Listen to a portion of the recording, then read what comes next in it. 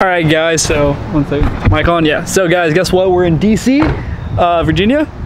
Just a cool little trip I decided to take last minute, kind of a last minute thing. I hit up my my buddy Peter from Ape Athletics. Said, hey man, you know, why don't I drive up this weekend? You know, we catch a lift at Barbell, or not Barbell, District, well, yeah, District Barbell, uh, catch up, you know, because we've talked a few times, we've met a few times. He's a cool guy. I really like him because he's very uh, business oriented. He's a great motivator. Uh, he's, you know, motivated in business and he's just an all around great guy.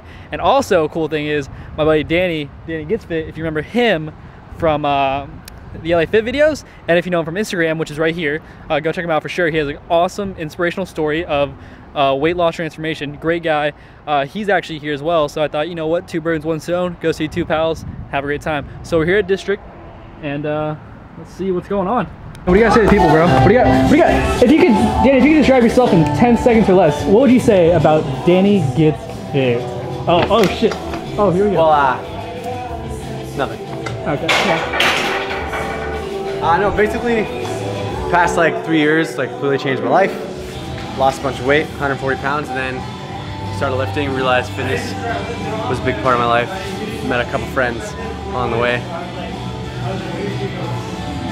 I think I think that's something that, like a lot of us like go through is like you know we start working out yeah and like we have our own reasons yours weight loss mine was because like I broke my ankle when I was running so I like needed something to fill the time and then it just progresses into something that's like you know it becomes a hobby then it becomes a lifestyle and eventually it becomes like you know friends you meet become family like it's just it's just it's just a great thing and like that's why I think like a lot of channels the, my problem nowadays like I see like a lot of channels just pop up out of nowhere and they'll claim to do things but like they don't stand by their word but like when you meet actual people who are like very genuine to their word you get to meet them you get to see how they actually react in real life as opposed to on you know camera you can actually see like most of these people are genuine people who are just in it for the lifestyle they're in it for like to meet the people. It's, it's amazing. So like Danny right here I met him what at the LA Fit Expo. I met you at the Originally, went Hey, LA Fit Expo we kind of interacted not, not too much because I was kind of with like That's some where other we people met, too. officially. yeah that's where we met. And then we got to know each other more at the uh, Arnold. That's, Yeah. yeah we like hung out more.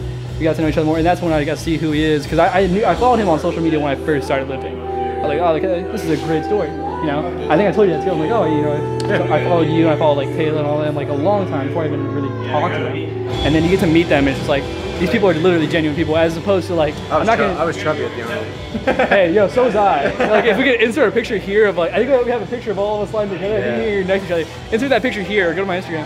We were kind of, I was a little chubby too, but like, as opposed to people who I'm not going to name names, but I've met people on YouTube who claim to be very friendly, outgoing, and I meet them and they're just like very like, well, what can you do for me? And I'm like, well, I'm just trying to be your friend, man. I'm not trying to do anything for you right now. Yeah. So it's like it's cool.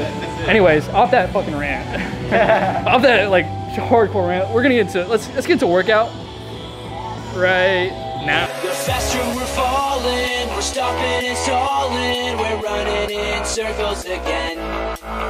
Just as things were looking up, you said it wasn't good enough, but still we're trying one more time. Maybe we're just trying too hard, when really it's closer than it is too far. Cause I'm in too deep and I'm trying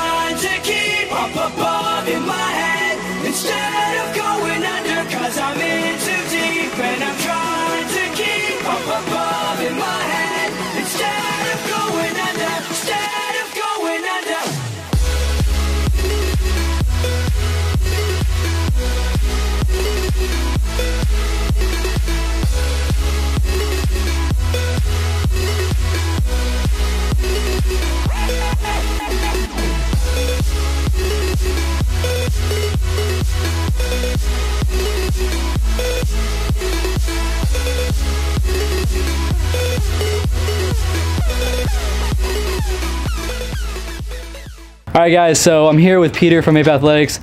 Peter, if you could uh, describe yourself in like 10 seconds, you know, what would you say?